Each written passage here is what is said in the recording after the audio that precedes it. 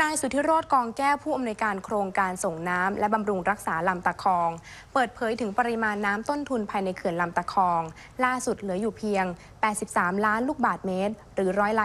28ทำให้แต่ละวันเขื่อนลำตะคองจะส่งปริมาณน้ำดิบให้กับประชาชน ใช้ผลิตน้ำประปาอุปโภคบริโภคเฉลี่ยอยู่ที่ 5 ลูกบาทเมตร ต่อวินาที หรือประมาณวันละ 430,000 ลูกบาทเมตร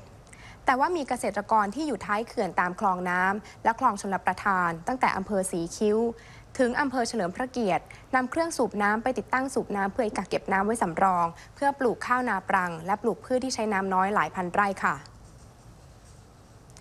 นายกฤษณะแก้วดีนายกองค์การบริหารส่วนตำบลป่าหุงอำเภอพาน จังหวัดเชียงราย พร้อมหน่วยงานที่เกี่ยวข้อง เข้าตรวจสอบแท้งน้ำภายในโรงพยาบาลส่งเสริมสุขภาพตำบลป่าหุงเพื่อดูระบบการจ่ายน้ำและผลิตน้ำประปา หลังจากมีรายงานแจ้งว่าโรงพยาบาลป่าหุงไม่มีน้ำเพียงพอสำหรับเจ้าหน้าที่และผู้ป่วยที่เข้ามาใช้บริการ ซึ่งการตรวจสอบพบว่ายังมีน้ำเพียงพอ และคาดว่าจะสามารถใช้ได้ตลอดหน้าแล้งนี้ค่ะ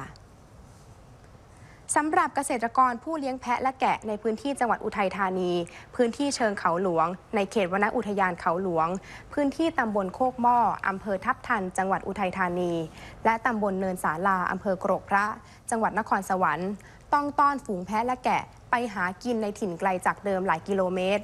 หลังจากทุ่งหญ้าและแหล่งน้ำในพื้นที่ขาดน้ำแห้งตาย ไม่มีแหล่งทุ่งหญ้าให้สัตว์เลี้ยงได้กิน จนสัตว์สู้ผอมไม่สามารถจับขายได้ เพราะราคาถูกมากไม่คุ้มทุนต่อการเลี้ยงทางด้านพันเอกหญิงทักษดาสังขจันทร์ผู้ช่วยโฆษกประจำสำนักนายกรัฐมนตรียืนยันว่า รัฐบาลสามารถบริหารจัดการผลิตน้ำประปา ให้เพียงพอต่อการบริโภคของชาวกรุงเทพมหานครจนถึงเดือนสิงหาคมนี้ แม้ว่ามีปริมาณน้ำเค็มที่ปริมาณน้ำเค็มจะหนุนสูง จนส่งผลกระทบต่อคุณภาพน้ำสำหรับทำน้ำประปา และอาจต้องงดจ่ายน้ำประปาเป็นช่วงเวลา พร้อมขอขอบคุณเกษตรกรที่ให้ความร่วมมือในการลดการทำนาปรัง และปฏิบัติตามแนวทางการรณรงค์การใช้น้ำอย่างประหยัดค่ะ อย่างที่ประชาสัมพันธ์กันบ่อยๆนะครับว่าในขณะนี้ประชาชนเกษตรกรหลายพื้นที่มีการปรับตัวเพื่อให้สู้หน้าแล้งค่ะแล้วก็ผ่านพ้นไปได้ เอาตัวรอดให้ได้นะครับมาดูที่จังหวัดมหาสารคามครับพาไปพบกับเกษตรกรรุ่นใหม่ ที่กลับมาพัฒนาบ้านเกิดครับด้วยการน้อมนำหลักปรัชญาของเศรษฐกิจพอเพียงทำการเกษตรครับพร้อมขยายผลสู่สมาชิกในหมู่บ้านและชุมชน สู้กับภัยแล้งครับ ติดตามเรื่องนี้ได้จากรายงานครับ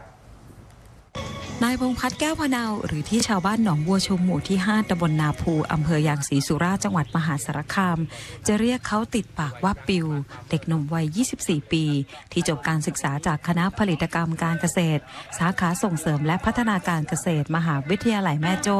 เมื่อปีพุทธศักราช 2557 แล้วเลือกเดินตามความฝัน โดยศึกษาจนสำเร็จการศึกษาในระดับปริญญาตรี เพื่อเป็นของขวัญให้กับพ่อและแม่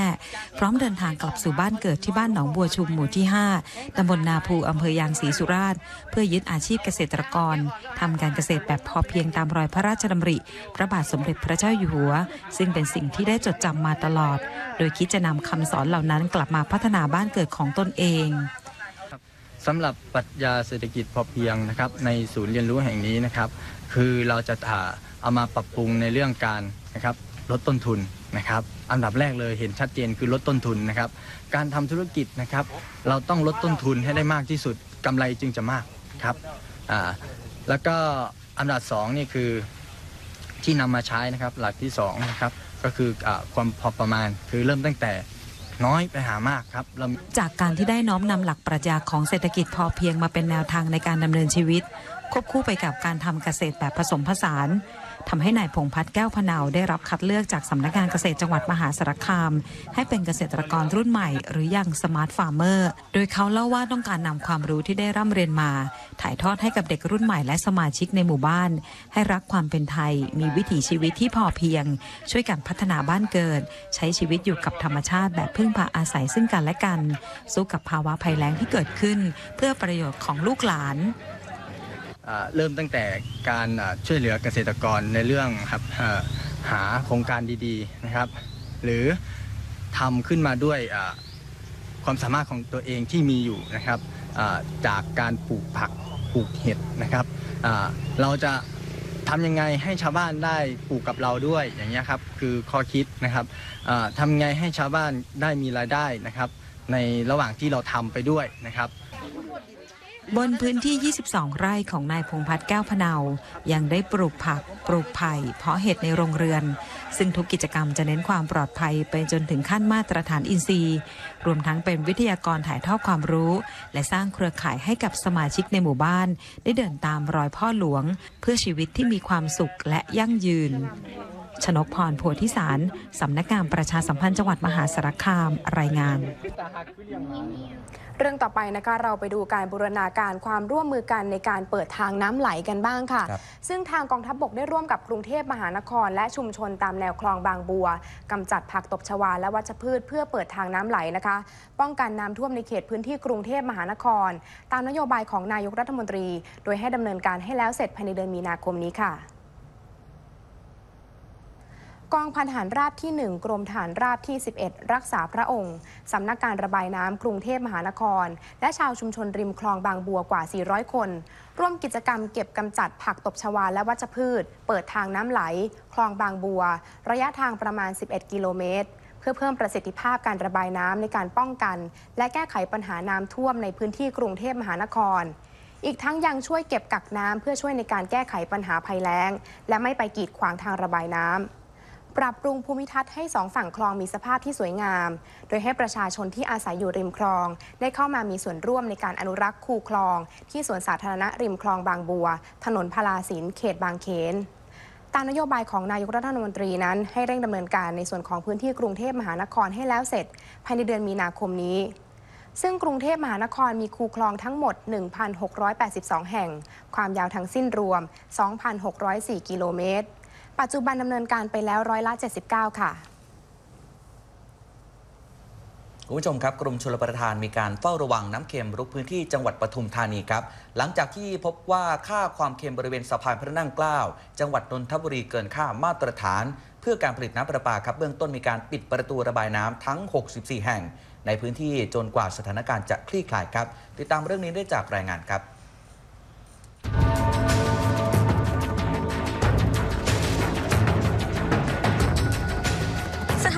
น้ำในอ่างเก็บน้ำทั้งขนาดกลางและขนาดใหญ่จำนวน 33 แห่งทั่วประเทศ ยังคงอยู่ในขั้นวิกฤต โดยมีปริมาณน้ำใช้การได้รวมกัน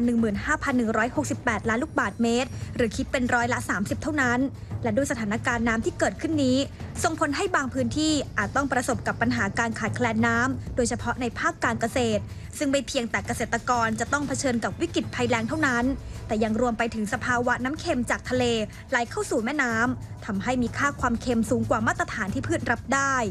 จังหวัดปทุมธานี เป็นหนึ่งในพื้นที่เสี่ยงที่ต้องเฝ้าระวังปัญหาน้ำเค็มอย่างต่อเนื่อง แม้ว่าขณะนี้จะยังไม่พบปัญหาน้ำเค็มรุกเข้ามาในพื้นที่ แต่จากการติดตามสถานการณ์ค่าความเค็มแม่น้ำเจ้าพระยา เมื่อวันที่ 24 กุมภาพันธ์ที่ผ่านมา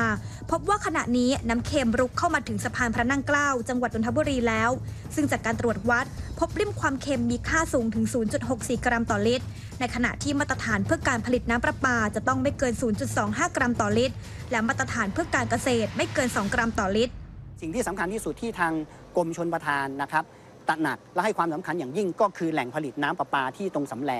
นะครับ เนื่องจากว่าที่สำแลนี้เป็นแหล่งปากทางรับน้ำของการประปานครหลวง เข้าสู่คลองประปา และส่งเข้าไปสู่โรงผลิตประปาที่บางเขน และก็ที่สำเสนต่อไป นะครับซึ่งมีกลุ่มผู้ใช้น้ำเป็นจำนวนจำเป็นจำนวนมากนะครับไม่ต่ำกว่า 10 ล้านคน แม้ว่าขณะนี้ค่าความเค็มของน้ำที่บริเวณสะพานพระนั่งเกล้าจังหวัดนนทบุรีจะเกินค่ามาตรฐานสำหรับผลิตน้ำประปา แต่ที่สถานีสูบน้ำปากคลองสำแลจังหวัดปทุมธานี ซึ่งเป็นจุดใช้น้ำดิบผลิตน้ำประปาแหล่งสุดท้ายของลุ่มน้ำเจ้าพระยา